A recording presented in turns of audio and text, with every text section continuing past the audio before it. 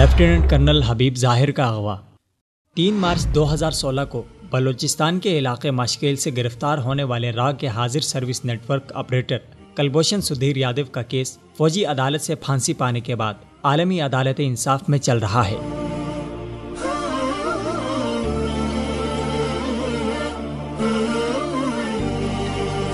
जिसके हतमी नतीजे के बारे में फ़िलहाल कुछ नहीं कहा जा सकता। पाकिस्तान और भारत दोनों के लिए ये केस इंतहाई अहमियत का हामिल है और दोनों ही इसमें दिलचस्पी ले रहे हैं, क्योंकि भारत अपने इस खतरनाक जासूस कमांडर को खोना नहीं चाहता। इसीलिए भारतीय वज़ीर खारजा सुषमा स्वराज ने भारतीय पार्लियामेंट में बयान दिया कि वो अपने जासूस को बचाने के लिए, आखिरी हद तक जाने के लिए तैयार है। लेकिन ये बात तयशुदा है कि पाकिस्तान भी इस जासूस के बारे में इंतहाई हसास है। वो इस मामले को अपने मनतकी अंजाम तक पहुँचा कर रहेगा।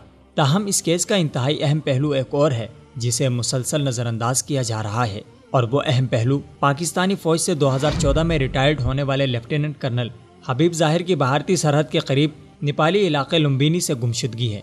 लेफ्टिनेंट कर्नल हबीब ज़ाहिर को ऑनलाइन जाब के सिलसिले में फर्जी किरदार मिस्टर थॉम्सन की कॉल आई, जिसने उन्हें 5 अप्रैल को ओमान पहुँचने का कहा।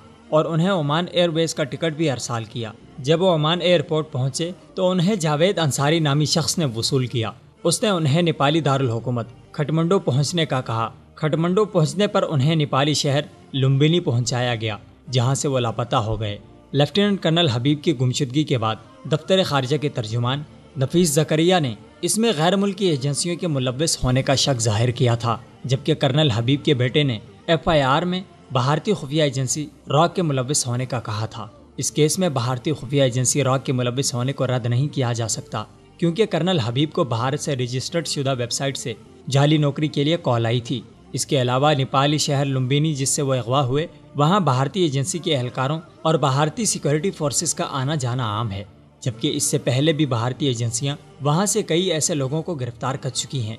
जिनको बाद में कश्मीर की वर्किंग बाउंड्री से गिरफ़्तार करने के झूठे दावे किए गए। अब जबकि कलभूषण सुधीर यादव का केस जोरों पर है तो लेफ्टिनेंट कर्नल हबीब ज़ाहिर का केस सर्द खाने की नज़र हो रहा है, जिसके बारे में खदशा ज़ाहिर किया जा रहा है कि कहीं इस केस की फ़ाइल ही दब न जाए। इसलिए ज़रूरत इस अम्र की है कि पाकिस्तानी हुकूमत हबीब ज़ाहिर के केस को आलमी सतह पर सिफारती अंदाज में उठाए और इस बारे में अपनी जिम्मेदारियाँ अदा करते हुए लेफ्टिनेंट कर्नल हबीब ज़ाहिर को बाजियाब कराए।